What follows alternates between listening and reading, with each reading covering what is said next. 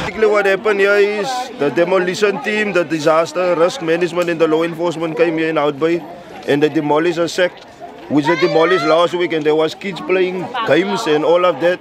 So this bungalow here been destroyed and all that. So the people here did set the crystal light, they did set the other depot light because the police they come with that force, you know. Because that's always all about the koi man. You see, it's an incident.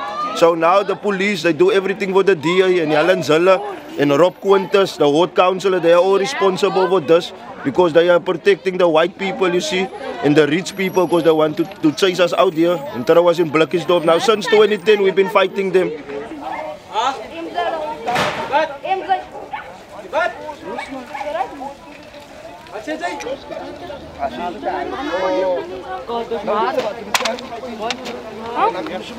While me and my brother was here, I was actually in the house and they came the first time and they said that they need to take pictures. My nephew was playing games in the house and then they, they just said, I said, okay, they can't come in because it's trespassing. They, they were standing outside taking pictures. I said, I asked if it's allowed.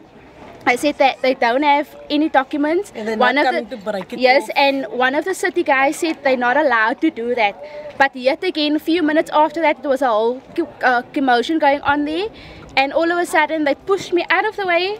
Like, they pushed me out of the way, they were rude to me. And then they were starting to, to get vulgar and stuff. And then also, while my nephew was playing, he was the last one on the couch sitting. And they pushed him out. So, um, Tyler is seven, seven, eight, eight. And they literally broke the, the, the structure down while he was in the house.